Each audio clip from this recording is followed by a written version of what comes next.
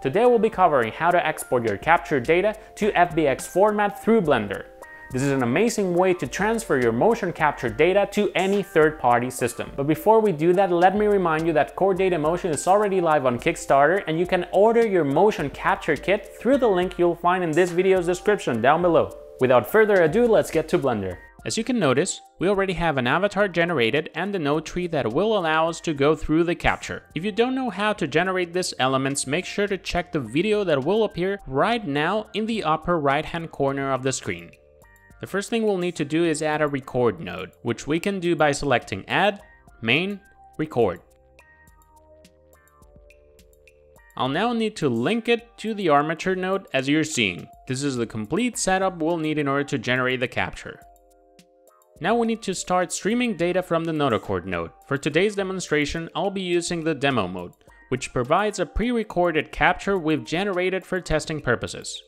I'll select the capture I want to use and run the demo. You will notice the avatar moving by this point.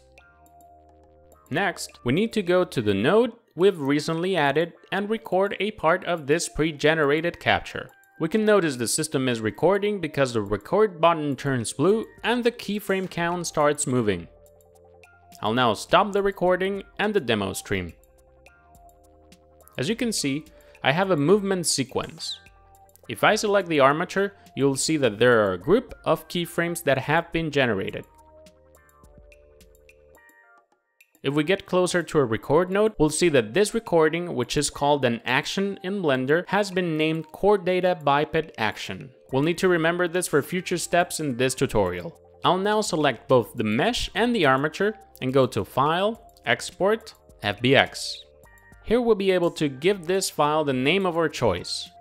Beyond naming, you will see that there are additional options available in the right hand menu. I can choose to export only the selected objects, which is useful for scenes in which we have multiple objects.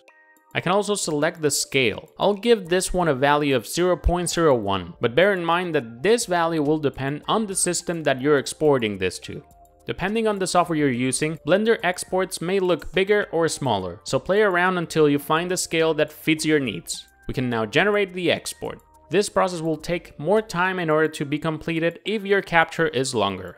In order to review our capture, I'll be using a free tool which is available in any modern web browser, Three.js's Web Editor. This one is an online app that allows us to import objects such as the FBX capture I just generated. In order to do this, I'll go to File, Import, and then select the capture I recorded previously. And here we have it. Now, in order to reproduce it, I'll need to select from this drop-down menu the action that we saw named in the record node. For this example, mine was named Chordata Biped Action.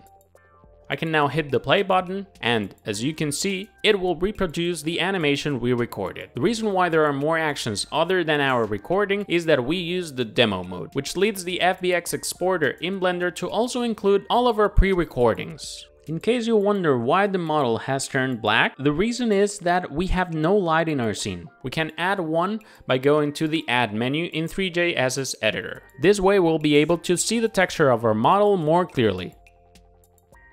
That's how easy it is to generate your motion capture exports and transfer them to any third-party system. Thanks for your time and let's keep on moving.